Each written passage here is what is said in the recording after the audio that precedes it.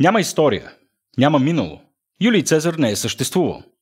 Робин Кълингвуд, английският философ, който разсъждава за историята, формулира тази радикална теза, когато разсъждава за това какво всъщност знаем ние за нашето минало. И най-вече каква е основната работа на историка. Историкът гледа артефактите от нашето време и се опитва да пресъздаде една идея, един свят, който вече не съществува. В този смисъл историята не е нищо повече от едно упражнение на интелектуална възстановка. Възстановката обаче може да не е само интелектуално упражнение, а реална форма на изкуство. Един педагогически инструмент с хилядолетна традиция. Още в колизеумите на Древен Рим са пресъздавали древни битки. В Древна Гърция и в Древна Спарта са се обличали по начин, по който вече не съществува, пресъздавайки стари униформи, начин на живот, който тогава вече е бил древен. Днес ще си говорим за историческата възстановка като един инструмент, педагогически инструмент, инструмент с който възпитаваме, с който вдъхновяваме хората да се интересуват от историята и с който най-вече ги караме и да се забавляват. Гледайте!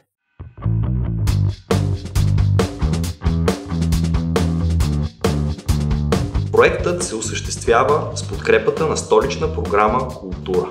За да не пропускате нищо, което правим, последвайте ни в социалните мрежи, а ако искате да ни подкрепите, можете да направите това на patreon.com raciobg. Здравейте, момчета! Здрасти! искам първо вие да се представите, тъй като считам, че нали, единствено човек може да представи най-добре себе си, без аз да стъпвам върху някакви така предварително разписани неща, които няма да ви направят чест, най-вероятно, тъй като всички и двамата сте сложни и комплексни индивиди, така че на вас се пада прерогатива да опишете така в есенция, кои сте вие, всъщност да започнем с теб, ако искаш. С удоволствие. Ами, здравей, мерси, че ни покани. Mm-hmm. Аз съм Манол, доколкото знам господина до мен е Владо. Uh-huh. А, и двамата членуваме в Сдружение за исторически, за антични възстановки Мос Майорум Улпия Сердице. Виж какво дълго заглавие. Маутфул. да. Да, което всъщност е на лош латински е нравите на прадедите от Сердика, от Улпия Сердика, mm-hmm. т.е. от града на Траян. Защото Улпиите са, а, са рода на император Траян. И така се е казвал града по римско време. Mm-hmm. А, и вие двамата реално сте членове на а, а, една такава организация, която може би е в публичното пространство. А, имат а, така особена слава. Предполагам, че това е нещо, което всъщност хората не разбират и то целта на нашия разговор е всъщност да си разясним а, какво и, и що е то историческа възстановка. Нали, затова, да. затова в крайна сметка ще си говорим. Колко организации има като вашата първо да започнем? В България. Имате ли представа, да? В България, може би, са, ако броим и регионалните клонове на различни организации, може би ще са около, може би, 60. Някъде. 60 да. организации има такива. Но от всички периоди, не само от а, античността, която представяме ние. Mm-hmm във всеки град, малко или много през времето, особено след 2000 година, възникват подобни организации от местни, да кажем, самодейци. Mm-hmm. А, често, са, често са групи за туристически атракции, по-точно, което е малко по-различно от а, група за историческа възстановка, но за това ще поговорим малко mm-hmm. по-натам. А, като също целта каква е? Целта поначало е благородна, да се популяризира историята в дадения край. Тоест да могат хората да се докоснат до историята, да се заинтересуват от нея и съответно малко или много да се опитат да опазват тази, това богато културно-историческо наследство, mm. което имаме. А, всъщност това е целта на ренакната популяризация на историята пред широка публика. И разбира се, хората, които занимават с а, исторически възстановки или ренактмент, а, популяризирайки тази, да кажем, история, те, повече от тях извършват едно съобразно пътешествие във времето. Тоест, те самите преживяват това нещо и това им носи всъщност така стимул да продължат и да се опитват наистина да се потопят в образа, който пресъздават. Mm-hmm. Като ренактмент или историческата възстановка, тя е на различни нива. Тоест, ти можеш да пресъздадеш предмет, може да пресъздадеш дадено историческо събитие. А, разбира се, за повечето външни наблюдатели това изглежда малко като някакъв вид театрална постановка, цирк, mm-hmm. дори и така нататък. Но всичко зависи, разбира се, от добросъвестността на а, човека, който извършва ренакмент. Защото благородната и идеалната цел на историческата реконструкция е точно това. Първо, да опознаем дадения предмет, който пресъздаваме, да го представим адекватно пред широката публика, или пък да популяризираме даден археологически обект. Mm-hmm или дадена крепост или даден град с някакво знаково събитие, което се е разиграло там. Тъй като нашето сдружение за антични реконструкции се занимава по-скоро с период от късна античност, 4-6 век, който е доста буен и динамичен. А, ние сме се фокусирали в пресъздаването на ежедневието на римляни готи. Така две популярни народности, които са заблъскали на Балканите през а, това бурно и променливо време. И това е всъщност нашата цел. Първо да насочим а, вниманието към този много малко познат а, исторически отрязък, защото в учебниците по история почти не се учи за този период. И второ, да популяризираме наистина повечето археологически обекти и места, където са случили важни събития, примерно от епохата на римоготските войни. Mm. А, в, нали, в това отношение историческата реконструкция има тази благородна цел, наистина да популяризира културно-историческото наследство. Защото в България знаете, че не се отделя чак толкова с голямо внимание върху богатото ни историческо минало. По-скоро така, туризма културни се изчерпва с промоция на различни манастири и малко ли много черноморски туризъм, ски туризъм, такива неща. Да, то, то, то служи за някакви за други цели, да. дали, дали политически, дали економически в uh, общия да, случай. Да, най-вече економически и политически. Да. В България, в смисъл в България, в Европа не сме известни толкова много с културния си туризъм, защото поначално той отсъства. Mm. За разлика от Италия, за разлика от Гърция, Испания, всички на запад, всички западни държави, които се отъждествяват с гръко-римската култура, която е дала начало на западната цивилизация, те я популяризират по един или друг начин. На, на Запад това движение историческа реконструкция е много по-голямо, с много повече възможности. Mm-hmm. Но и тук ние се опитваме да правим каквото можем. Да. Като стъпваме фактически за популяризацията на това на историята, стъпваме на грубо казано научни данни. Тоест, при нас импровизацията и цирка, ако мога така да нарека, е сведен до минимум. Всъщност, с две думи, може да кажем малко за добрите практики. Първо, първо да. само да кажем, нали, че а, това, което ми прави на мен впечатление, mm-hmm. че сте си избрали един период, за който действително не се говори в, а, и в нашите учебници, изобщо да. не се засяга. До някъде. А, до някъде може би се засяга, но а, може би относително неизвестен факт е, че готите са един от, сега тук не знам дали ще използвам правилния термин, а, етноформиращия а, така цялостен облик на това, което ние наричаме себе си българи. Винаги се говори за траки, а, да. славяни, прабългари. модел. Точно а забравяме по някакъв начин готите, които всъщност са имали много сериозно присъствие в крайна да, сметка на Балканите България. и са оказали да в Северна България конкретно, защото това са точно те са били пограничните. Какъв беше термина на, Федерат. на Рим? Федерати, точно така, на Римската империя. Така че много хубав период сте си избрали. Прави впечатление, че различните организации са специализирани в да. различни периоди. Предполагам, той е въпрос на, логистика, на логистика в крайна сметка. Не мога да обхванете всичко. Нали, така? Първо е невъзможно да обхванеш повече от един завършен културно-исторически период. Mm-hmm реенактор или възстановкаджия, mm-hmm. който се хване да прави няколко исторически персонажа наведнъж, няколко роли наведнъж, така mm-hmm. да се каже. Знам, че не се занимаваме с театър, но думата си е подходяща. Mm-hmm. А, той или трябва да е много богат, за да mm-hmm. може да си позволи повече от един хубав пълен исторически костюм, или трябва да си го измисли много, много лошо. Mm-hmm. Ако не си много богат, ако си правиш а, сметката правилно, и, и си се задълбочил и се интересуваш от един исторически период и искаш да си реенактор, да си възстановка джия, тогава спри се на периода, който ти е най-любим, mm-hmm. който, в който си чел най-много. Понеже възстановката е такова хоби, тя е и хоби, а, в което се налага да четеш непрекъснато история на костюма, за да знаеш как, как mm-hmm. трябва да изглеждаш и как не трябва да изглеждаш. Защо, ако, да речем, правиш военен персонаж, трябва или не трябва да имаш гребен на шлема. Аха. И ако го имаш, какъв да е? Въобще трябва ли да имаш шлем? Mm-hmm. А, ако правиш, какви трябва или какви не трябва да са ти обувките? Или как, каквито, какъвто инвентар ти е необходим?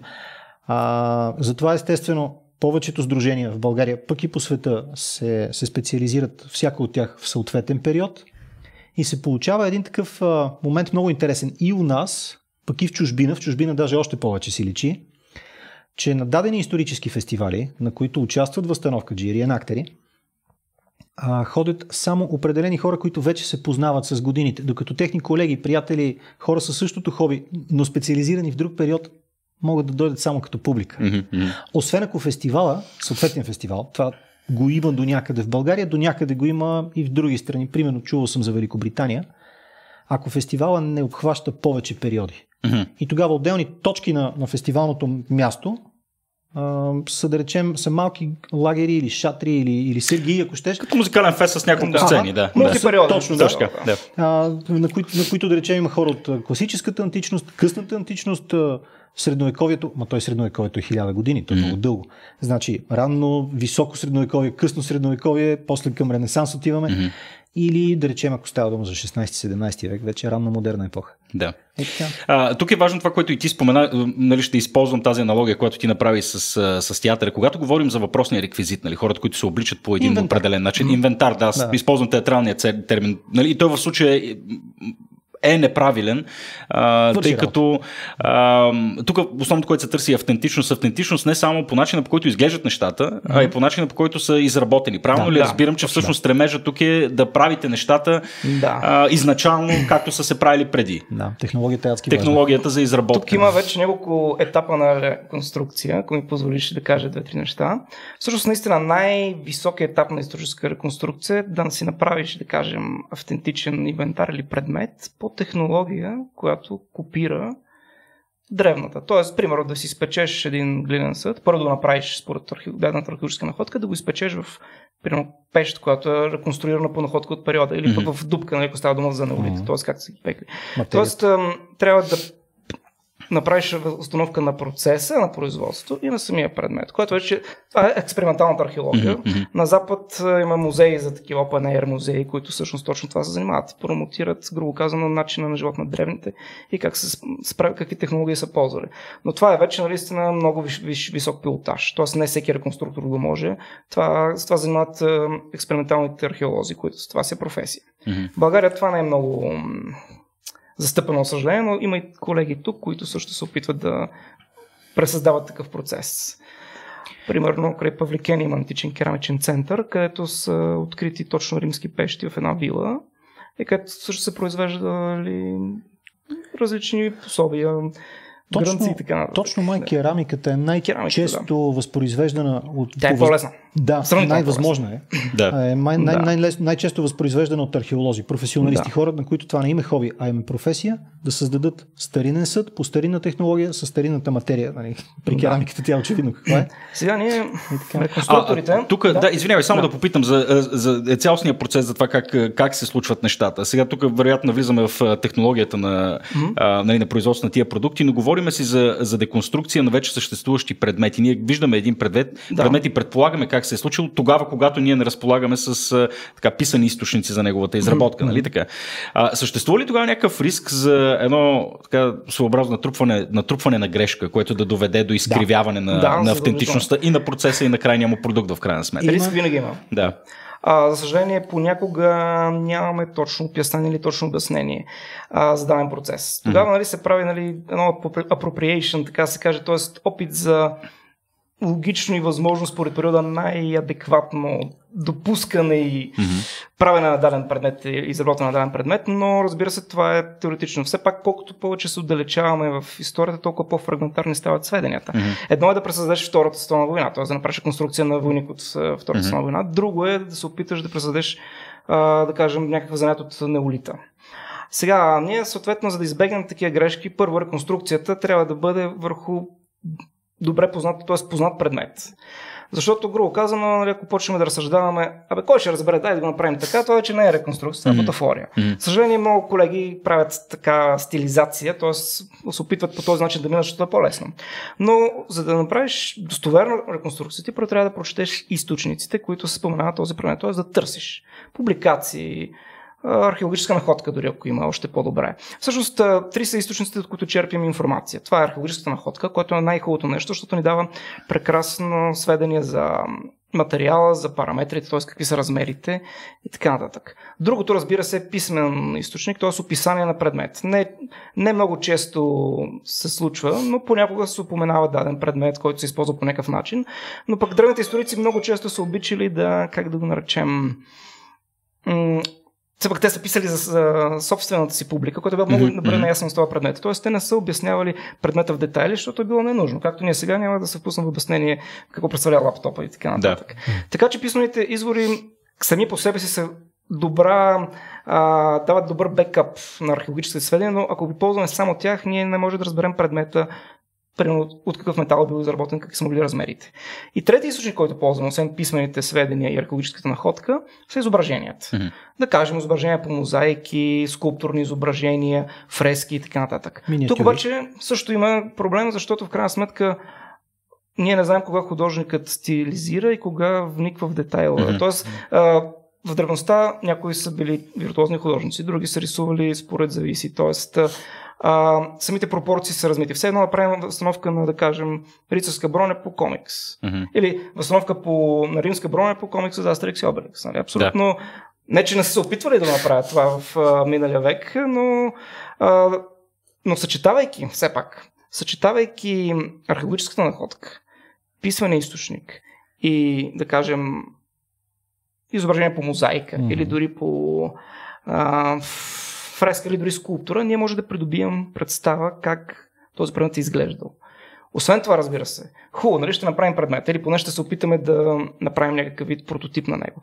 След това трябва да намерим достатъчно адекватен майстор, ако ние не можем да изработим този предмет. Това, това ще Да. да. е следващия въпрос. А, Аджаба, вие ли, вие ли хващате чука и на ковалнята и се опитвате да правите нещо? Това Не винаги. А, Вероятно и това се случва, но нали, когато говорим за прецизни инструменти, които в последствие вие ще покажете Да. дали са дали артефакти, предмети, а, действително се иска някакво, някакво умение в крайна сметка. Първо, и... най-щастливото сдружение или клуб или група за възстановки е тая, която си има, да речем, ковач и шивач. Да. Има, слава богу, занаячи, майстори, някои от тях са професионалисти, на други им е хоби, които, четейки и трупайки инвентар, се изкушават и почват сами да, мгм. да създават предмети, да крафтят, както се казва. Да.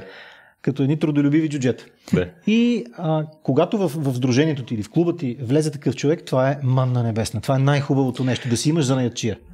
А, То Естествено- по принцип да си намериш за най-чия вече Да. е някакъв тотален скандал. Какво значи ковач, той като еднорог да търсиш Има, има, някъде? има. Вероятно ги има, да, Има, някъде да, там, розов но... ковач като розов еднорог не се намира. Но обикновен ковач или добър ковач се намира. Да. Дори в България и слава богу. М.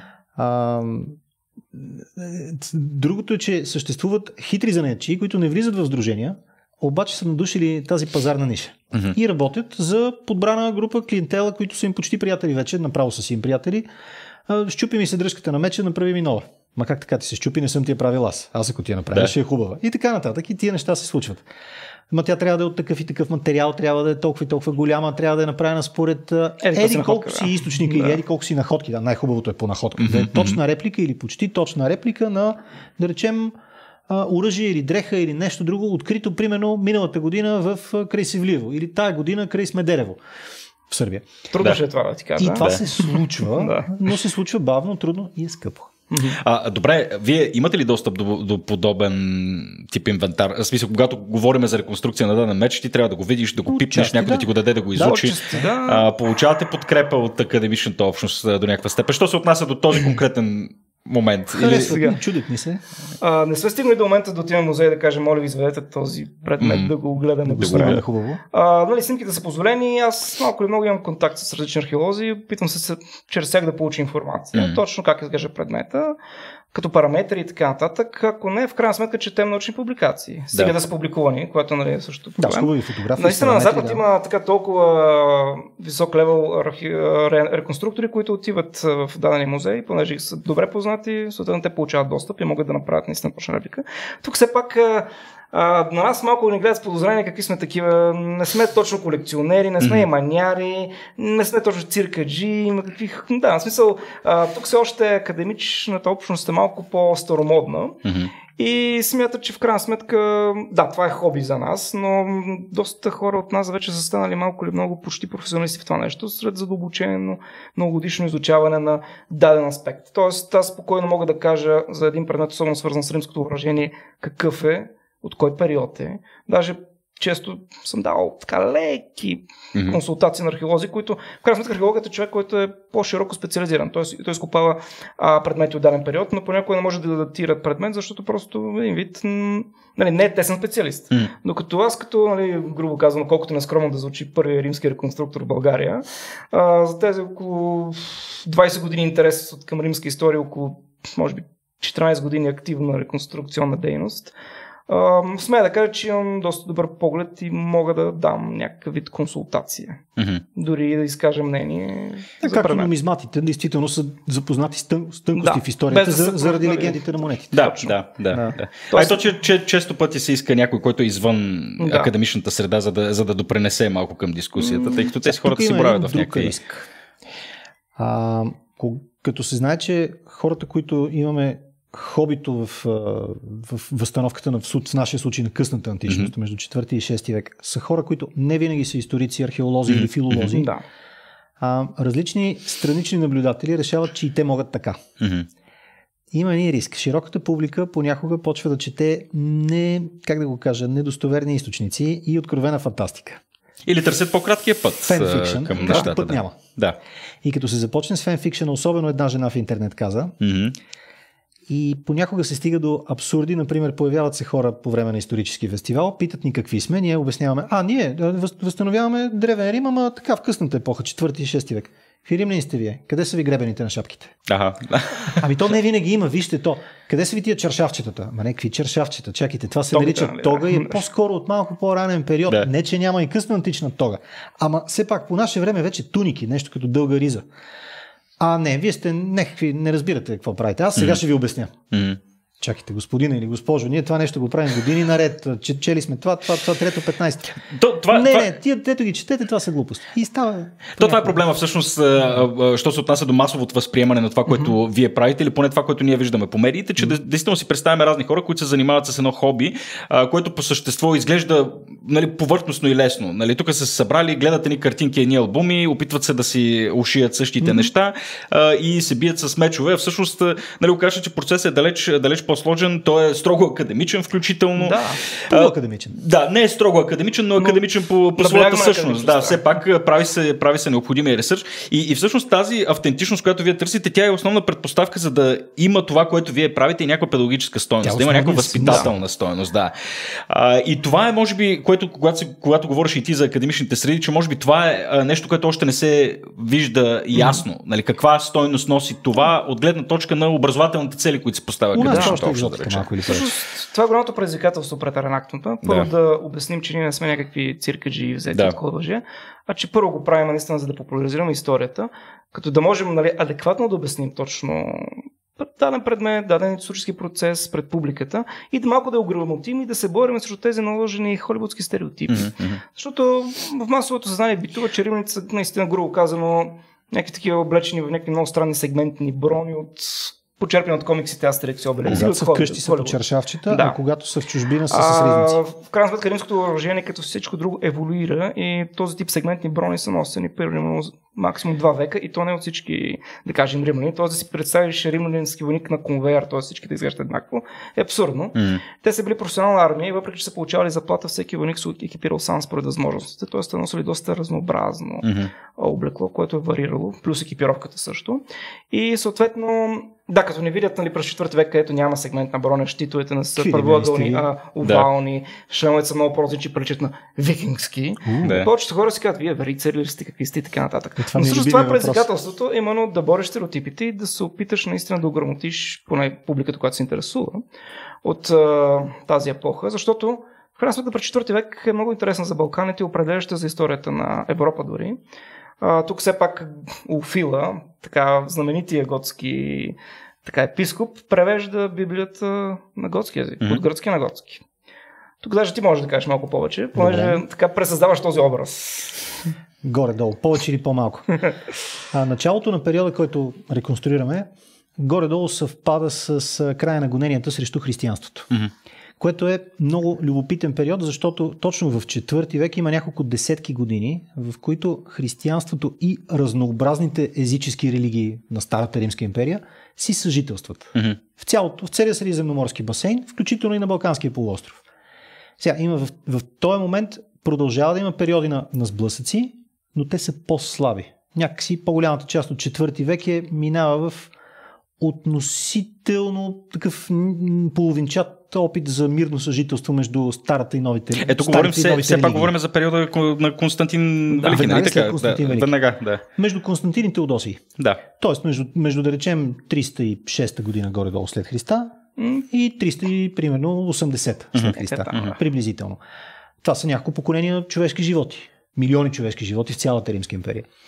И това едновременно с това е и момента на, на не много трайно, но много забележи, забележимо заселване на готи на Балканите, които доста бързо, макар че продължават да говорят стария си източно-германски язик, а, доста бързо се покръстват. И в, точно в този момент, точно на нашите територии, някъде горе-долу между Никюб, Търново, м, Свищов, Шумен, горе-долу в този регион, северна, централна и северна източна България, е един сякаш полугод, полугрък, полугод, на име Улфила, а, превежда Евангелието, части от Стария Завет и изглежда части от тогава навлизащата масова литургия на готски язик. А, готската Библия е запазена в така наречения Сребърен кодекс, който мисля, че се съхранява в Швеция в наше време. Азбуката, предназначена от Улфила за готския език, си е азбука от 20 и няколко букви, която малко напомня гръцката, малко по-късно на нея ще напомня и кирилицата, но не са еднакви. Езика, на който е преведена Библията е някакъв германски език, mm-hmm. доста екзотичен германски език. Не си представи модерен немски или холандски mm-hmm. или датски. А е, да, ли, има термини и думи, които човек, който знае днешен немски, нещо ще разпознае, но далеч не всичко. Нали, това е много стари, стари нали, вече мъртъв език. Архаичен, да. Архаичен език, да. И това, че тия неща се случват на наша територия, това, че на нашата съвременна територия, това, че този, този готски учител, да го наречем, апостол, ако щеш на готите, а, същевременно е бил, както изглежда, свързан с една от популярните християнски секти на 4 век, арианската секта, mm-hmm. която в наше време вече е изчезнала, тя не съществува, погълната от православните и Тя е една от първите и най-големите всъщност да. секти, които възникват непосредствено след християнизацията на Римската империя. Да, нали така? Да, да, да, паралелно с, с този процес, да. А, това е първо прави за, за мен лично периода още по-интересен, много мотивиращ, формативен период за, не само за нашите територии, а и за по-нататъчната история на Европа, на Италия, на Испания особено, тъй като готите мигрират през Южна Европа на запад, от Балканите към Италия и после към Испания. И, и всъщност ни позволява да се спрем на драматична фигура, за която да говорим по време на фестивали. Да. Защото е хубаво да имаш фокус. Е, това, е, това, това е много хубаво, тъй като наистина историята, особено е, така както масовите хора, среднообразования човек я познава, то обикновено се спира върху няколко така, Царе, основни периода. Е, царе, дати и битки. А, да, това, да. Атина по времето на Перикъл, четиримата императори, да. Цезар Август, нали, това са общо взето основните неща и се пропускат, остават едни огромни дупки, един огромен вакуум. Цялото средновековие е такова, нали, до някъде, особено западното. Тук, тук малко по-добре си го познаваме, но примерно западното средновековие в нашата историография или начинът по който се нали, преподава в училище, там е черна дупка, не знам. Да, от, от Карл Велики скачаме директно на Христофор Колумб. Да, и тук говорим да. естествено не за академичните среди или за хората, които се занимават професионално с това нещо, ми говорим за масово съзнание на хората. Това са периоди, които не се познават, личности, които не се познават. В този смисъл, наистина това, което правите, запълва, запълва един такъв много, много интересен и важен сегмент. Ние също сме участвахме в създаването на тази комуникативна среда на Софийското Ларго. Да, а, на кое, извинявайте? Ами, всъщност... Разкопките в центъра на, стол... да? на столицата, които а... си имат проблеми като разкопки, но като комуникация с публиката, мисля, че можем да се похвалим малко. А, фактически при прокарването на лъча на метрото преди близо колко, 10 на години вече, а, понеже се разкри част от а, главната римска улица на Сердика. Mm-hmm. Там съответно беше решено да се изгради така античен комуникационен комплекс, който да включва подземна част, където има намерени няколко добре запазени римски домове с мозайки. И за щастие, понеже преди около колко 5 години вече Музея за история на София пое стопанисването на този обект, беше решено да се изгради една такава информационна зала, където посетителят да може да, грубо казано, да се озове в интериора на един римски дом. Uh-huh. А, там Сдружението ни беше привлечено да участва в изграждането на тази експозиционна зала, като ни оформиха интериора всъщност по мотиви от мозайки и, да кажем, фрески. Плюс, съответно, направихме едно постоянно изложение от антична екипировка и предмети от бита. Mm-hmm. Тоест, като влезе човек, може да придобие представа най-грубо как изглежда легионер през първи век, през трети и през четвърти. А, на Запад е доста популярен този начин на интерактивно представяне на историята. Радвам се, че тук не само разбира се в Софийския музей, но и в някои други градове вече има подобни експозиции, които един вид дават по-реална представа на посетителя как са изглеждали древните или съответно относно оръжие, екипировка и така нататък. Да, тук важното е, понеже това, което аз виждам като цел на реанакмата, на възстановката, mm-hmm. няколко неща, нали, вие ги казахте, едното е популяризацията на, на историята, историческия момент, а, другото е, разбира се, нали, хората да бъдат вдъхновени, да потърсят малко повече. Да. А, и третото е, че струва ми се, че обитавайки дори за кратък период, дали за няколко часа или пък, да, да знам, за няколко месеца, а, а, така, а, тялото на, на, на, дадена, на дадена историческа фигура, нали, да си представим, че си викингски войн в един определен период от време а, и живееш по този начин. И, и тук го казвам не случайно, тъй като има такива реалити формати, нали, в които да, те са вече телевизионни формати. Тук мога да говорим за другите има видове формати, филми, които се използват. Да, да, и цели филми, в които хората наистина така дългосрочно се потапят в една антична или средновековна атмосфера, а, което си има своята а, наистина възпитателна, възпитателна роля тук. Да. Тъй като там най-ясно започват да контрастират, а, а, нали, да контрастира естеството на нашето битие, сравнено с тяхното. Mm-hmm. А, и, а и аз не виждам как човек реално може да познава историята или, или ам, или така да я разбира, без в крайна сметка да успее да се постави до някаква степен на мястото на този човек, да обитава неговия ум, да разбере по този начин неговата мотивация и най-вече средата, която го формира. А, нали, в този смисъл Рианакмата изпълнява до някаква да. степен и, и тази роля. Нали, римляните не са били само хора, които са яли грозде а, нали, не, са, и са лежали да, и са повръщали в вомитариума там, или както, както се нарича. Ами всъщност са водили един дали, средния римлянин, средна класа в момента, дали, ако сравним начина на живот, никой няма да иска да, да се не. постави вероятно на негово място. В този смисъл това е ценно, но пък един вид такъв дългосрочен реанакмент или, или нещо по, по-голямо, където човек наистина може да се потопи за дълго време, е пък и много, много скъпо начинание и не е нещо, което, което съм виждал да се прави, не знам. В България, за съжаление, не. Но Колко време трябват фестивалите ви в този ред на мисля? Събитието какво? Как изглежда едно събитие? Обикновено два дена, да? но това разбира се прекалено недостатъчно. Тоест, ам, за съжаление, в България няма чак такъв, как да кажа, потенциал да се правят по-големи събития. Mm-hmm.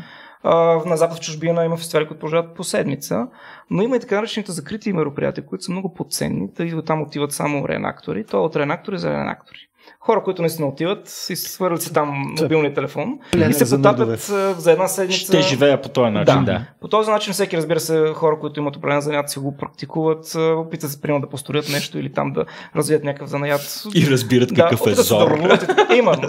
Защото съвременният човек е много разглезан от технологиите и той, разбира се, започва по, по някакъв начин да си мисли, че е най-великият и най-умният на света. Mm и си казва, тези примитивни хора, те нищо не разбират как са построили тия пирамиди, това са някакви извънземни и така нататък. Докато така античен човек е бил находчив, естествено притежал технологии, които в момента са малко или много забравени. И тези хора малко или много са били много наясно с средата, в която са живяли и са се ориентирали прекрасно. Защото сега, ако напуснат някоя гора, късно през нощта, mm-hmm. без телефон, без навигация, трудно ще оцелея. Да. Даже една колиба сигурно няма да му си направя. Тоест, съвременният човек е изключително непригоден, ако изчезне нали, основата на нашата цивилизация, именно електричеството. Тук спре, да. Много хора ще измрат след това от не само от епидемии, от нормални битови инциденти, а, докато един така по-примитивен човек, грубо казвам примитивен човек, би се оправил прекрасно, независимо примерно да, да живее в джунглата или в саваната. И тук, и тук всъщност нали, най-тъжното в цялото нещо е, че този примитивен човек, тая находчивост, за която говориш, да. тая, тая, нали, това, това трудолюбие и тая способност да... Да, тя се притъпява много, но тя е и по някакъв начин органична част от това, което сме ние. Ако mm-hmm. целта на историята всъщност е да познаеш себе си, нали, поне аз се виждам по този начин, да. като може би най-ефективният инструмент да, да, да изучиш човешкото състояние. Нали, предполагам, че това е интелектуалната цел на всеки един от нас, нали, в крайна сметка, да опознаеш да, човешкото състояние и самия себе си. Нали, този смисъл историята е много полезна. И, и наистина е тъжно, че ние не познавайки тия обстоятелства, при които са живеели хората, дори в най-непосредственото минало, нали, бога ми, баба ми, нали, как, как, да. е, как е живяла вече е нещо тотално абстрактно. А, и не го знаем. Нали, по този начин а, ние самите така прибедняваме собствената си природа нали, до някъде. Mm-hmm. А, и е много ценно наистина това да се, това да се ами, прави. Пак има един риск. Понеже нашето всекидневие е много приятно, mm-hmm. но малко изкуствено, mm-hmm. просто изкуствено. А, нов човек, потапайки се в средата на възстановките, на стариния костюм, на, на четенето на, на история, да не започне много да се вживява. Хубаво е възстановкаджията да помни, че Гошо от Горубляне mm-hmm, или mm-hmm, Мишо от Чепърлянци, няма значение, че примерно е програмист или полицай или доктор или какъвто е там. Да. А, че не е римски император Максенци, примерно, или нещо от този род. Че Да. не е Константин Велики в никакъв случай, че не е светиня му Улфила Да. Готски. Със съжаление трябва да кажа, че Лови не, не съм Улфила Готски. Обаче а, същевременно да може добре, професионално и с доза самоирония и отстранение да, да си изпълни необходимата роля пред, пред посетителите, да си е прочел урока по история на костюма, Мгм, мгм. да си носи инвентара, да си носи кръста, така да се каже. Да. И в крайна сметка, ако може да, да запали някое дете, някой посетител, млад, малък посетител по историята въобще като занимание, като човешки интерес, това е най-хубавото, това е най-доброто. Да. Понеже историята е страхотно интересна, тя е забавна. Мисля, че е и полезна. Да. Дето вика отец Паиси, чети история и като я прочетеш, научи се от нея да презираш този свят. Да, то това обикновено се случва, нали? Да. А, в крайна сметка. Да, в смисъл, този риск от...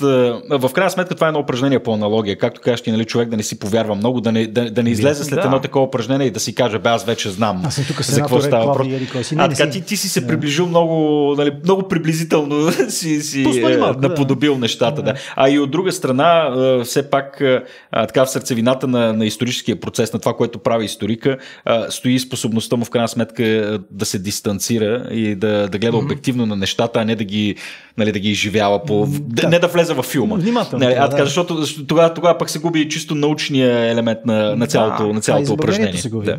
А и забавлението се губи в крайна сметка. Да. Ако почваш да го приемаш лично. Не, не. Със сигурност. Добре, как изглежда едно, а, едно ваше събитие? Аз трябва да призная, ние ще покажем някакви Да. кадри, а, ще покажем какво се случва, но какво точно пресъздавате? Имаме облекла, имаме всякакви предмети. Грубо казано, едно събитие трябва да бъде поначало тематично обвързано с мястото, на което Се е изпъл... изпълнено. да. Обикновено фестивалите се правят на археологически паркове.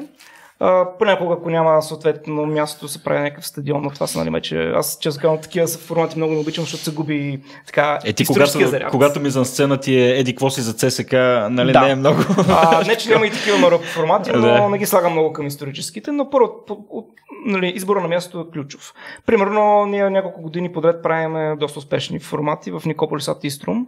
А, този така, град на победата на Дунава, който всъщност не е точно на Дунава, но той е до, Близо до на около Дунава. 20 км от Велико Търново, където всъщност, освен че е бил блестящ център по времето на Римската империя, там се счита, че Офила е проповядвал и е знамерил така а, буквите за готски язик. А, Тоест, ние обвързваме нашия фестивал с този период от 4 век. Част от модулите са посветени на Офила, част от тях на римо-готските войни. Тоест, грубо казвам, представяме екипировка на и въоръжение на римляни, готи, съпоставяме техните традиции, примерно пресъздаваме погребение на готски вожд, чрез трупово изгаряне или чрез обикновено погребение, ако е християнин. Нали, това са, разбира се, Чии труп изгаряте? изгаряме, грубо казано, чучело пълно с слама. Аха. В крайна сметка. Не върви да. Те самия Офила, като Не, да, А, на целия фестивал. По принцип, а, фестивалът е планиран да има строга програма. Тоест, а, определени модули се случат през определената част от деня. А, като естествено има и заначистски пазар, т.е. хора, които изработват, грубо казано, сувенири или медальони, разни там. Обувки. Да, обувки. Обувки. Тоест, спо- според това как евентуално са го правили древните, като, като това, нали, това носи някакъв вид комерциален, така да кажем, интерес и полза поне за да наречиите. Ние, ние реконструкторите фактически занимаваме с а, модулната част, т.е. с а, презентацията на така наречената жива история. Т.е. Мгм. потап, максимално потапяне на публиката и на самите участници в този исторически период. Един вид пътешествие във времето. Говориш ли на готски? Междувременно. Много, много слабо. А, мога да цитирам отделни фрази. Включително ми се е налагало да рецитирам Господната молитва, Отче наш, на готски пред, пред публика. Може ли го направиш сега? Мога да го направя отчасти. Не е Това ще ми гръмне главата наизуст. просто. Ако... Общо взето звучи така. Ата унсър, Отче наш, Зу ин химинам, ти в небесата, Уикне намотеин, да се свети твоето име. Киме Тюдинасус Тейнс, да дойде твоето царство. И нататък съм почнал да го забравям. Да. Да. А, та, е, това е доста, доста интересно. Това беше готски. Това е готски език. Това, това, това звучеше много като латински. Нали, казвам Не, не. като пълен дилетант. Латински Нали, Ако, на, Да. ако, ако бъде на латински, ще бъде... Пердел. Да, да, да, всъщност, да. Ако е същия текст, ще бъде Патер Ностер Куя Синкойлис. Това, Окей, е, това да. е класически латински. Чудовищно различно да е. Ако, Има на- гръцки. Ако Да. на старогръцки ще бъде Патер Хемон Хоентой Суранойс. Е, сега вече се фукаш, нали? Да, Да, да. Но това е нещо, което, което възстановкаджията трябва да знае. А на, на готски е Ата Унсър. Виж как звучи като немски. да. Фата Унза. Ата Унсър. Руин Химинам. А, как беше на немски небе? Химел. на съвременен немски. А тук е himinam. Тоест, пак е подобна дума, корен е същия. Тук, колкото и да се фукам, то си е така. А, само една скоба да отворя. Когато говорим за другите периоди, има същия стремеж това да се случва. Смисъл, като говорим да речем за пресъздаване на българското възраждане, някой стремили се да говори като Паиси, макар че това е преди възраждането, извинявам се за грешките. Но... Не е много трудно да, да, да, да говориш като някого от българското възраждане. Първо, имаме достатъчно запазени диалектни, а, диалектен материал. Знаем да. как се е говорило, примерно в Котел по това време. Mm. Той до днес не е много далечен езика. Да, Сега не са минали чак да. толкова много години. Ама а, вашия период е вече друго нещо. Той бидейки архаичен, то не може, няма и как да го чуеш. Той бива пресъздаван да, само от писмени източници. Затова е важно да се чете горе-долу до какви а, спекулации или, или до какви сигурни знания достигат съвременните специалисти. Mm-hmm. Хубаво е да има контакт между, между нас реакторите, възстановкаджиите и примерно филолозите. В да. случая. Понеже те ще ти кажат, абе, ако съдим по правописните грешки от епохата, нали, един писмен паметник, ако няма правописни грешки, вероятно е фалшив. Ако съдим по правописните грешки, то произношението през вековете се е изменило еди как си. Дават ти някаква схема, mm-hmm. колкото и тя да е условна, ти можеш да се съобразиш с нея и някакси да доближиш себе си и публиката до това, което, mm-hmm. което древните са говорили, действително. Езика е много важна част. Ме ме е любопитно, а, опитвате ли си и други аспекти от средата да пресъздавате? Примерно кухня. Да. да. готвите, готвите по готски. По-римски. По-римски е е по-приятно. За щастие имаме оцелял сборник, грубо казвам оцелял, с много средновековни преписи от края на античността, така от 4-5 век. С рецепти. Да, съдържащ ага. рецепти, кулинари на пици, плюс разни добавки от вече по-съвременните автори. Някои неща са невъзможни. Да, но знаем как изглежда римската кухня, може да е готвим. Разбира се, има много екзотични, да кажем, ингредиенти, като езици от фламинго или така пържени съсели, които решаваме, че в това време да ги възпроизвеждаме. Но има и много ядливи манджи. Това с да. съселите се оказа, че продължава да е мода и до днес. Какво е съсел, бе, човек? Аз това, това не мога да... Да, да, да, така си го представих, ама просто... Огоявали са едни керамични съдове, които са били с едни такива като тирбушоновидни ходове, в които те живеели. Да. И след това ги ядяли. Оказва се, че неаполитанската драгета, местната форма на мафия, mm-hmm. продължава да ги събира и да ги яде до днес. Mm-hmm. Някои неща в Италия да. не се променят. Hmm. кухнята е съвсем отделна вселена, нали, създаването на римската кухня. Защо да, още няколко примера. Какво друго се прави? Ами, по принцип, някои манджички, така да се каже, са много подобни на днешните. Примерно, кажем, цели кюфтенц. Да. Има ли са луканика, която, нали, грубо казвам, пълнен така колбаса с разни меса и така нататък. Луканка, да. да. А, яли са, примерно, гълъби. Много интересно. Гълъбово месо. Да. А, вместо кетчуп са ползвали така наречения гаром, който представлява сос от гнили и рибешки вътрешности, оставани да ферментират за няколко месеца в делва, да кажем. Не. Да. След това овкусени с, да кажем, сол с подправки. След това всичко се прецежда прекрасно и се ползва за така доста ароматна... Страшно гадна подправка. Не, не е страшно гадна. Подобно на талантски рибен сос. Ага. Горки. Да. Но, примерно, ако го сложиш в сладко, се получава един много интересен контрастиращ вкус. Римската на мършичка, на, подобно на... на индийската и китайската mm-hmm. кухня с борба на контрастни така Комбинацията от месо и сладко е доста редовна. Да. да. Понеже не са, имали, не са имали много от нашите съвремени зеленчуци и подправки дошли от новия свят. Да. да. И е трябвало да... И е, абе, старинната европейска кухня, особено тази, която е запазена в писмени текстове, т.е. богаташката старинна европейска кухня, от римската епоха до към географ... великите географски открития е малко странна и тежка за нас, но mm-hmm. може да се яде. да, може да се пие. Неща, някои неща дори са Има рецепти за вино а, да. за бира. Не, защото, защото да. храната е един от стълбовете на човешката култура за Бога. И наистина, да. а, а, а, това е, е, може би, най-недоглежданата. Правили сме експерименти с римска кухня и не само ние, на Запад особено това си е традиция. Тая година на един фестивал а, в Кърнуто, да, в Австрия, ни се случи нещо много забавно. Организатора на фестивала, приятел наш и възстановка, че е лидер на голяма австрийска група Геза Франк. Да. Геза. Той казва, тази година ще се опитаме да направим минаването на император Юлиан, Юлиан отстъпника, през Кърнунто. Mm-hmm. Намерете някакъв материал във връзка с Юлиан, ама някакъв битов, за да направим и някаква шега с него. И почваме да робим по разни източници. Оказва се, че Юлиан, освен че е бил нали, римски император, е бил и а, доста сериозен автор на текстове. Може би е бил малко графоман.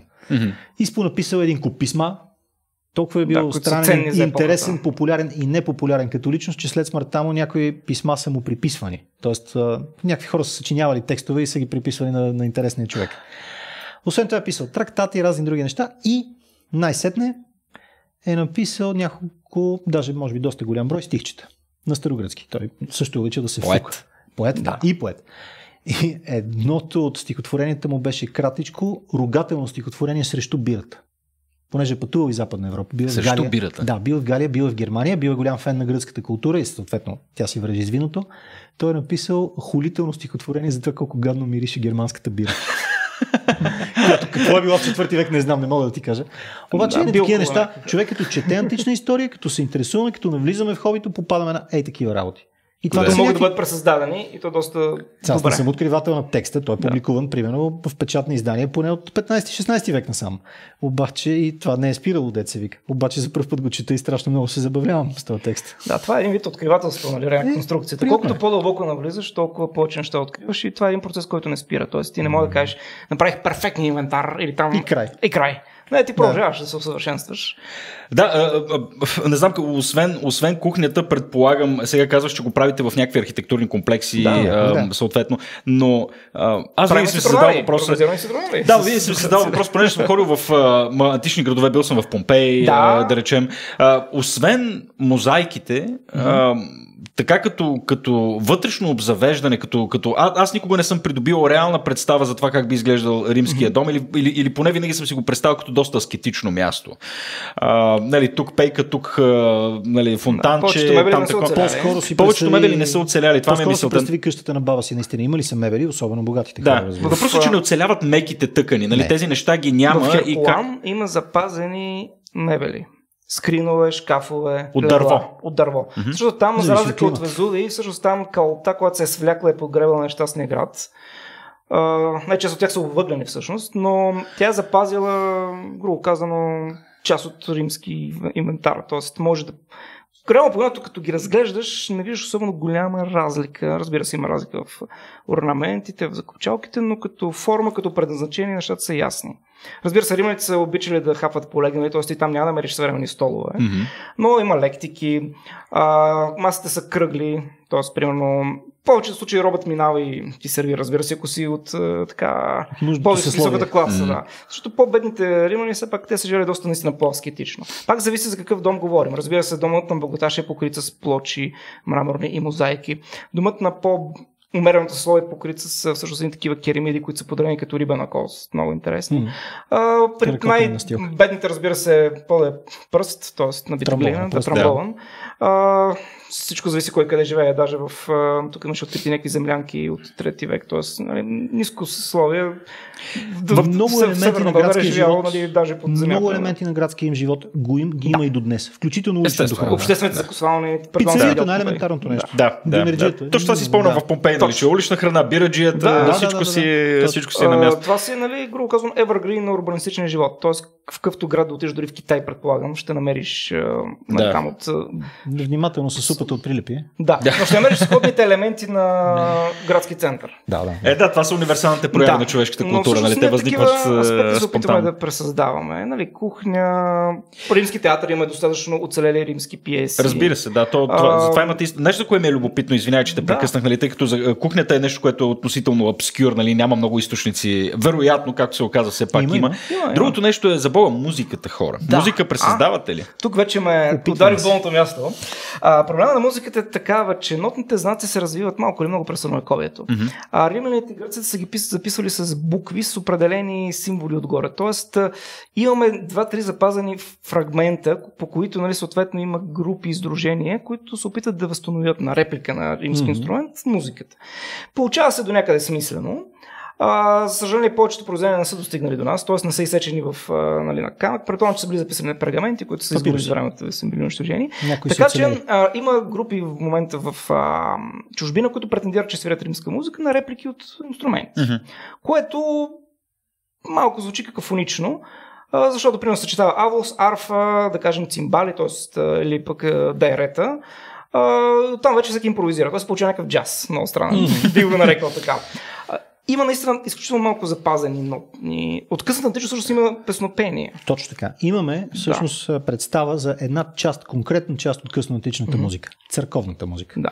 Понеже от момента, в който християнството спира да е забранено и излиза на открито, Мгм. out of closet, деца вика, а, запо... църковните автори са страшно плодовити и пишат непрекъснато и всякакви работи. Те също са едни трудолюбиви пчелички, дето се вика. Mm-hmm. А, горе-долу от четвърти век нататък имаме като пълен минимум наименованията на типове песнопения. Има, например, Амброзиев разпев, така да се нарече, Кантус Аброзианус. Амброзианус. Става дума за тип пеене, който или е измислен, или е популяризиран много силно от Амброзий от Милано. Тамошния архиепископ, който бил учител на Августин Блажени. Mm-hmm. Той е римски гражданин, той е съвременник на император Теодосий Велики, даже е бил в конфликт с него, но е оцелял от конфликта, може би защото е бил архиепископ.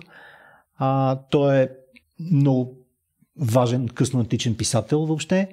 И освен това, изглежда, че е мислил и за това как да, да доукраси литургията в голямата базилика, в която е служил в Милано, с, с пеене. Добре, до тук чудесно, нищо изненадващо. Добре, обаче това пеене горе-долу, чрез по-късни а, преписи, чрез по-късна нотопис, по-късна, имаме, имаме предвид някъде от 7 век нататък, е вече засвидетелствано и запазено.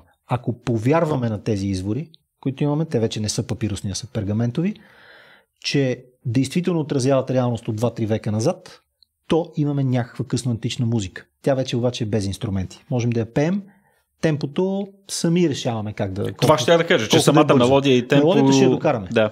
Темпото ние го преценяваме. Общо взето консенсуса е, че колкото по, по-стара е музиката, толкова по-бавна е, по-заспала е. Дали така това ли? Това е, това е... Дали това е 100% вярно, не мога да ти кажа. Но, е но, но това, това конкретно се отнася за този конкретен вид песнопение, да, нали така да? да. От там нататък има и по-стара музика запазена, точно има в Примерно, тези... Дитирамби, такъв тип неща имаме ли? Слънцето има запазено. Там имаме, то ги има като текстове. А да. това с различните типове метрика стихотворна, mm-hmm. дето казваш дитирамбия на пести, хоре, ямове да. и така нататък, можем да ги, да ги възпроизведем, включително имаме много добра филологическа традиция в България, поне от 60-те години насам, mm-hmm. да превеждаме такива неща на български. Ето ти примера за хекзаметър музо запей ми за оня мъж многоопитен, който откакто порути свещената троя и да, така нататък. Да, да.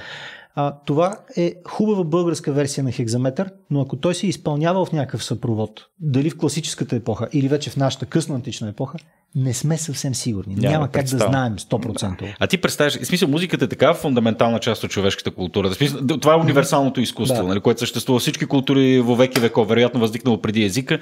И баш това нямаме представа какво е било. Е, тя е най-загиващото изкуство. Най-загиващото да, е, да, най- да. много неприятно. А, но Същото е с театър. Театър също, понеже не правим класическа античност, а късна античност. Да. Първо, ако тръгнем да правим, да речем, пиеса от Еврипит, ще сме тотално в анахронизма изпаднали. Mm-hmm. Изглежда, че в нашия период тези неща вече само са се четяли от по-интелигентната част от публиката, дет се вика на разговор. На а не са се играли? Вече не са се играели. Да. Ха. Има ли са някакви шеговити сцени, диалози и такива неща в публичните театри, които още са функционирали, много често са функционирали като градски съвети? Обаче като зони... Някакъв тип стендъп е било, това не ми казваш. да, да, да, да, да, буквално... да, да, точно да. стендъп комедия, стендъп трагедия не. Да. А, но не са, не е той класически театър, който си представяме на културни, с големи хорове, с двама актьори, с маски и такива да. неща. Това вече не го е имало. Добре, значи във вашите реконстру... реконструкции, възстановки, които, които правите, всъщност е, стараете се и тези неща да присъстват да. по някакъв начин с ресурсите, с които разполагате. Да, да, е, битки, наподобим, да. да. Е, повечето хора нали, обичат битките и така да святкат мечове и така нататък. Но ние се опитваме да обхванем всички аспекти на и цивилния живот. Просто да покажем как са живяли или как да. считаме, че са живяли хората mm-hmm. тогава. Защото в крайна сметка битките са еднообразни.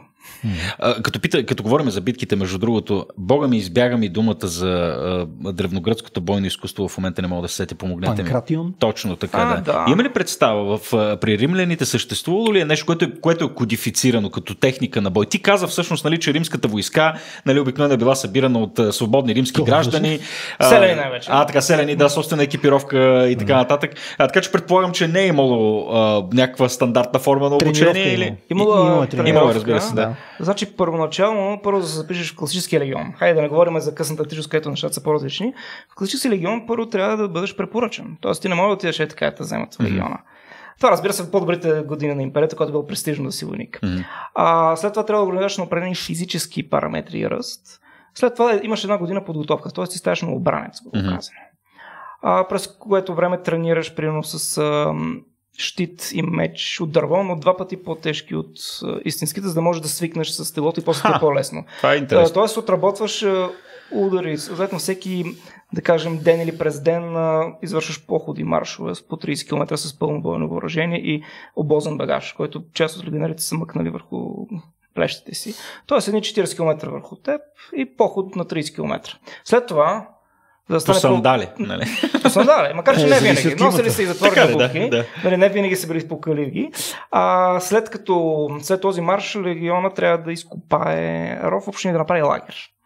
И чак тогава съответно може да си почиваш. И на следващия ден се повтаря същото от начало. И предполагам със сигурност в, като елемент на обучението е присъствал това как се бият заедно, защото известната римска да, всъщност, ще да кажа кохорта, но то не, не е правилният термин. Това е. Те са тренирали и индивидуално и разбира да. се как да работят в построение, защото в крайна сметка римската военна машина, както и гръцката фаланга, те са разчитали на взаимодействие между много така, между членовете на така тази бойна Ето това ги е много силно в крайна сметка. Така, малко или много всеки се опитва да, из, да блесне и сам да порази врага.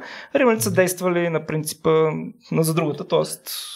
тясно взаимодействие. Разбира се, при в късната античност, при готите също малко или много, освен така показните двубои, а, те също са способни да правят построения. Не само те, разбира се, келтите и те. А те Тоест, много бързо се учат взаимно да. от враговете си. Така, че а, учиха се взаимно. Да. А, даже първоначално ли битката не е като... Нали, не си представете холивудската битка, където а, имаме разпръснати хаотично биещи се един срещу друг а, нали, войници на противниковите така, армии. Битката е протичала в тесен строй, строй срещу строй, т.е. стена срещу стена. Да. Разбира се, ако бъдеш откъснат от стената, много лесно ще бъдеш убит. Но ти трябва да си в, грубо казано, мелето. В мелето, но трябва да си малко или много защитен и от твоите другари, защото останеш сам, ще убият. Загиваш, да. Няма как нали да се разпръснеш е, по цялото поле да има. Е, това е. Това е спартанците на термопилите, нали, дето гледахме на филма, дето са си точно един за друг. и се... Да, да, там да. ако не този аспект горе беше показан добре. Да за дружността. Но иначе оттам нататък не, не искам да коментирам. Е, друг жар, това е просто Добре, вие, да. вие разполагате ли с масата хора необходими за, за една подобна, подобна възстановка? А, как, за малка тренировъчна демонстрация, да. Да, да. примерно по 10 човека от... да. да. Но за да направиш... Но нямаме. Не, за да направиш фестивал, който е достатъчно значим, трябва естествено да взаимодействаш с други групи. Български да. или чуждестранни. Да имаш и добър бюджет, за да можеш да ги поканиш. Да, един хубав фестивал да. може да стане чудесен демонстративен сблъсък между няколко десетки души. Да, с 150 впечатляващо, защото всеки... Със сигурност. Да.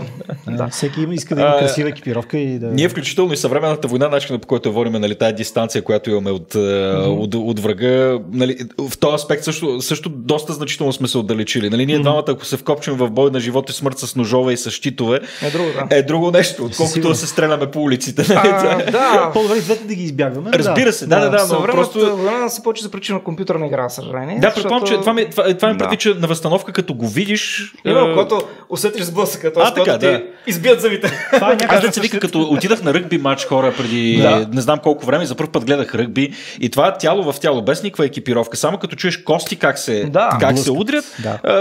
Едно време точно така се е случвала и битката. Кост в кост, череп Сега, в череп. За разлика, от, за разлика от съвременния матч или възстановка, както редици историци го посочват, античното бойно поле е било някакъв кошмар, защото сега не винаги хвърчат демонстративно глави и крайници, да. но доста кръв се, се губи.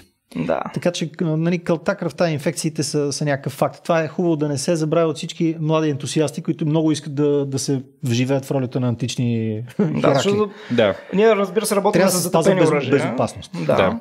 А оръжията ви са... Затъпени са. Що годи добри реплики, но, но не са заострени. Да. да. А, плюс всичките инструкции, т.е. сега в крайна сметка не е желателно, даже не трябва да удряш противника в главата, нищо, че е защитен с член, защото всичко става, може да му извадиш окото и така нататък. А, не го правете вкъщи, опитваме се да маркираме ударите, не толкова за да хем да изглежда, разбира се, впечатляващо, хем да не е опасно за противника, в крайна сметка гледаме да пазим другарчето. Точно както на ръгби матча обаче. Да, за да останем без пръсти, защото все пак повечето от нас нали, са хора с професия. Да. Не, не може да се върнеш с минус два пръста или ухо или нос. Не така, Хубавия парадокс е, че когато се случи изблъсъка пред публика и децата зяпат и се кефят. Естествено. Естествено. А, в следващия момент от обикновено човека, който най-лошо те е облъскал и те е фърлил в калта и ти е изпочупил перата на, на каската, ако не и самата каска, а, после стават изключително близки приятели. Защото това Естествено. са такива сближаващи моменти, които... Естествено. Е, да, да, как да. добре ме фрасна. Да, така е, благодаря ти и ти мене. Нали? Това някакси... Е, трябва това, което кажеш с децата, тъй като наистина войната, битката, а, понеже имам две момченца, а, съм забелязал, че това е един много хубав проводник, нещо, което можеш да, да, да впрегнеш, за да говориш в крайна сметка за история. Да. Нали, ако тръгнеш от, от от войната, оттам вече мога прокараш всякакви идеи. Нали? Да. Да. нали, Спарта победиха, да, нали, спартанците са биели на полето, ма днес всички живеем в древна. Гърция.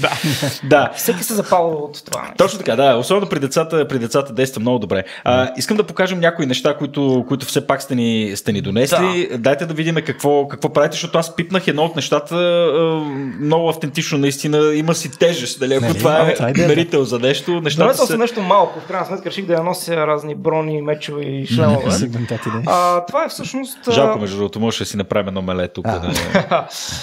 а, това е реплика на чанта от късната античност, от 4-5 век. Като тези, всъщност това е един много хитрумен затварящ се механизъм. А, а, металните части са направени по реплики, намерени в Испания и в Германия. Т.е. те са носили такива чантички на кръста си. И в тази чантичка, съответно, съм така, донесъл няколко малки предмета, които мисля, че са интересни. А, така за показване и демонстрация, с оглед да се вникне в това, което правим. Това са така наречените фибули, група налог на безопасните игли а, в сегашно време, а, които а, са много полезни за, да го кажем, археолози, историци и така нататък, тъй като са един вид ръководни артефакти.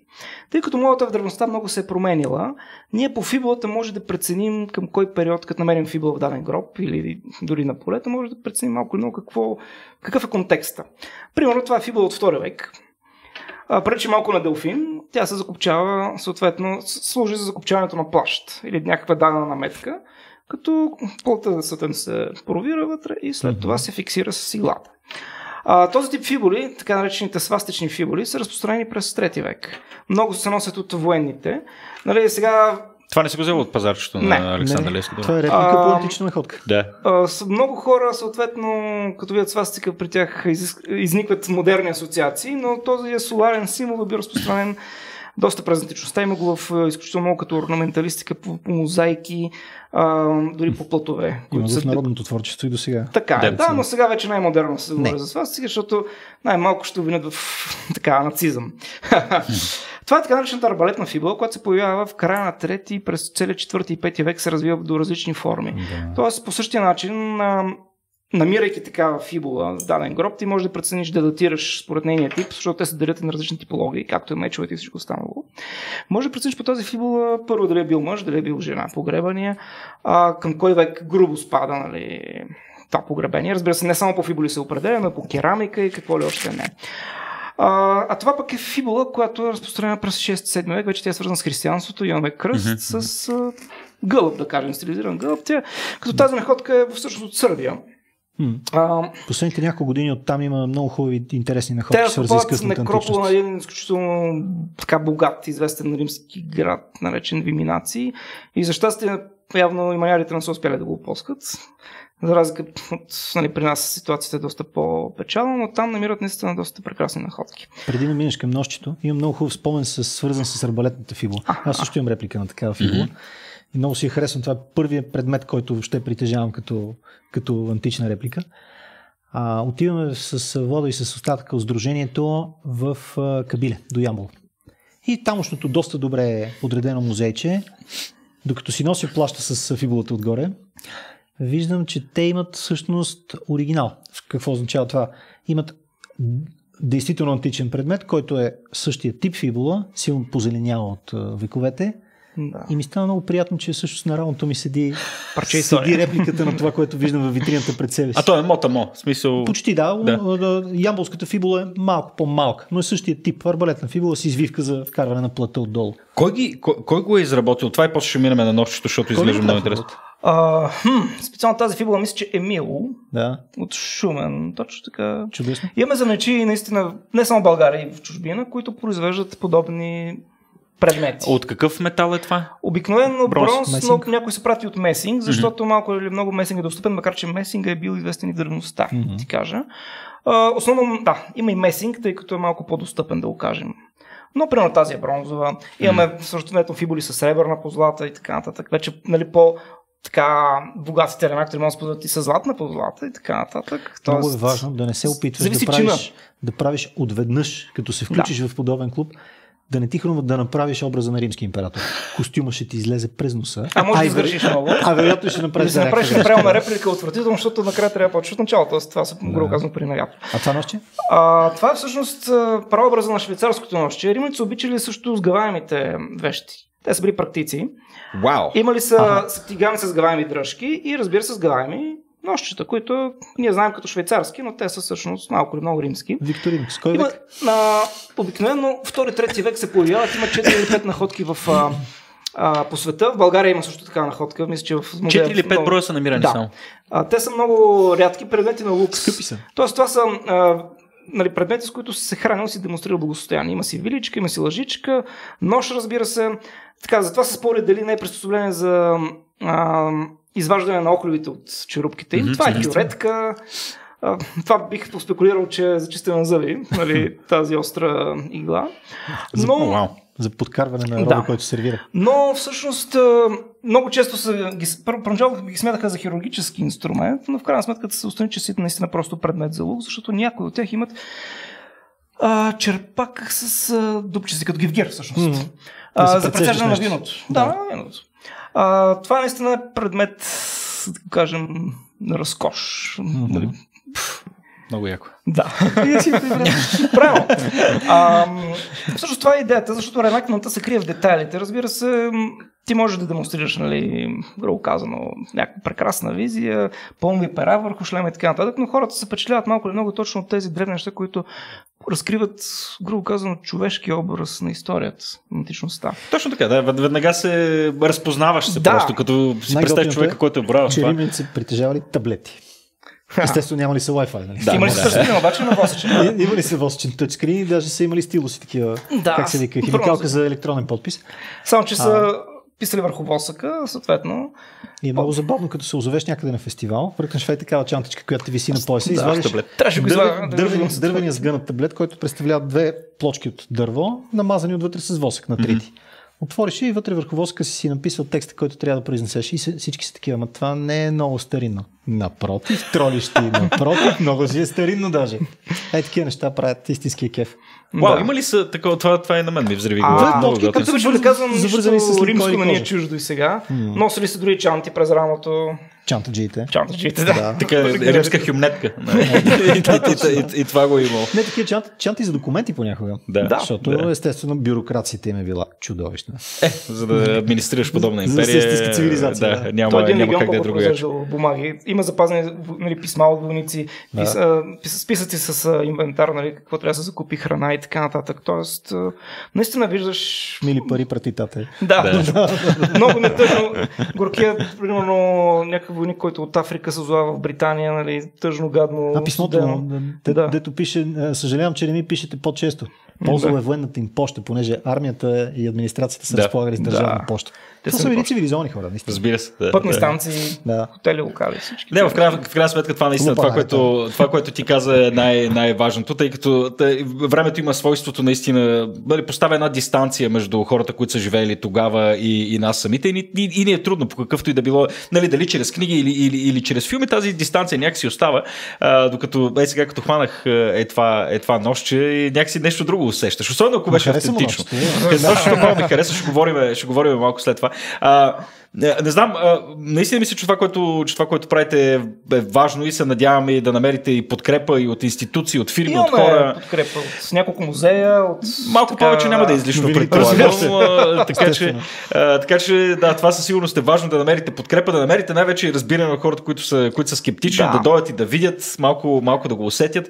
Кажете кое е следващото нещо, което ще правите, за да знаем къде да отидем и кога. нашите творчески планове. Айде сега творчески планове в За условията на COVID. Ей, сега ще да, затворим. За зимата Да. всъщност единственият творчески план е да направим традиционната Сатурналия. Да. Стига условията да го позволяват, разбира се, тъй като в условията на пандемия публичните сбирки, тимбилдинги са доста така усъкатени, ако мога така да нарека. Обикновено всяка зима, в началото, даже в средата на декември, правим така наречената Сатурналия или честването на, грубо казано, римската година, ако мога така изобщо да нарека. Така, така, Тя не- много не крие на нашата. Не крие от публиката. Коли се прасе, по същия начин ние разбира се не колем прасето, но се събираме да първо да пофилософстваме, да опитаме от римските ястия, които сме сготвили, да изиграем няколко скетча, Съответно си прекараме времето, както си го прекарвали римляните. Пали се свещи, раздавали се подаръци, т.е. нищо необичайно Почти за един коледен. празник. Да. Почти коледен празник, mm-hmm. разбира се, почитали Сатурн, нали? най-добри от всички богове и златния Проклети езичници, не ви е срам. Не, съжалявам, отче, това е положението. Всеки от нас е криптоязичник.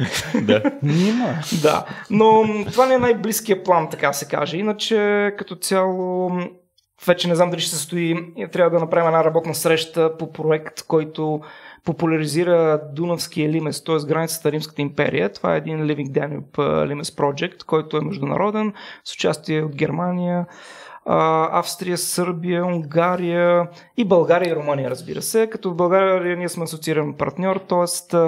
до година живота и здраве, ако всичко върви гладко, макар че предполагам, че ще има някакви забавяния заради COVID, би трябвало една реконструирана напълно римска бойна галера. Тя е малка, малък патрулен кораб, наречен Лозория, да мине по цялото протежение на Дунав с спирки нали, във всяка от държавите партньорки. Съответно, трябва да подготвим почвата за преминаването и в България с нашите партньори от, mm-hmm. по този проект. Но не съм много сигурен сега в връзка с новите така Това е, да. новата обстановка, дали ще може да го направим на живо или нали, по WebEx или Дано по... да може. Да. Би било добре да се срещнем с тях, да уточним параметрите, как ще се проведе изобщо цялото това мероприятие. Иначе ние винаги сме готови с, а, с най-различни идеи и проекти Да. за малки късометражни видеа, с а, идеи за, за популярни популяризиращи лекции, Мгм. С евентуално с Имаме демо, демонстрации канал. на костюма и Да. така нататък. Кажете какъв, ти е, какъв ви е YouTube канал? А, Мос Майорум. Да. А, ти, ти, ти, ти много да. лесно го казваш, въпросът е как се, как се Трябва да чува ти и да. Ще ми го пратиш после и ние Да. ще го пуснем в... А, всъщност, а, за до година надявам се да ни подадат условията да направим фестивали в София или пък в Никюб също, тъй като Мгм. в условията на такава пандемична криза най-вече страда културата, т.е. парите, които се отделят са минимални, а пък за да се направи нещо впечатляващо, малко или много, за да поканиш участници, които да репрезентират правилно а, дадени хоби, дадени, нали, да направят дадена възстановка, си трябват финанси. Тоест да ги настаниш, Естествено. да им поемаш пътни, транспорт и така нататък. Тоест, за съжаление, този етап съм зависими доста финансово и Напоследък, нали, по условията на пандемия, доста понамалихме нашите формати, които организираме. Надявам се, сега все пак с нарастването на броя на вакцинирани, бавно, но славно, да може до година случи. да, тези формати да бъдат отново да се върнем нали, към да. това, което правим към нашото хоби. Иначе просто го правим дигитално, т.е. събираме се да снимаме даден аспект от да кажем, някакъв римски скетч и така нататък. Да. Еми, то, да, това, Но, това, е, това ни е познато. да. Ние общо взето се намираме в един и същи бизнес, само че ние работиме повече с наука, вие пък се занимавате с Ние- история, което е наука. Нали, Точно така, разбира се, популяризирате науката, така че да, смисъл, че аз сме, че аз сме от едно голямо семейство и страдаме от същите болешки. И аз трябваше да ставам ютубър на 36 години. ми да. нали, не се чувствах особено комфортно в тая роля, ма правим каквото, можем. Ами, добре, момчета, на мен ми беше много готино да си поговорим. Удоволствие и а, благодарим, така че Мерси, ни даде да. възможност да си кажем и нашата така, Естествено, гледна точка, да. да. споделим хобито си. Ще ви извикаме пак. О, с удоволствие ще дойдем пак. Може би в по-различен формат. В като- по-различен формат, да. Тук сме направили нещо и на живо. с костюмите и правим някаква идиотска сцена. А, така. О, да. Може си, да, да, така се позбиеме малко, даже това ще, това не, ще е имаме вече. още по-добри неща. Имаме, Още без, по-добри. имаме безумни сцени. Абе, Може да разиграем толкова Е, това са още от рибата, искам да го източно. между другото. Не говорим импровизация. С рибата, да. Добре, момчета, мерси много, а, че ни гостувахте. Аз, а, какво остава от мен, да ви кажа само, че това е първият и последен епизод на ДНК, който аз ще водя. Васко Лозанов праща поздрави на всички вас, които сте фенове конкретно, конкретно на него. Следващите няколко епизода нямам представа какви ще са. А, Вече той самият, а, предполагам, ще ви каже в един хубав момент. А, Продължайте да ни гледате отново ДНК, а, дискусии за наука и култура, една продукция на Рацио. Аз бях Петко Желязов. Чао и до скоро.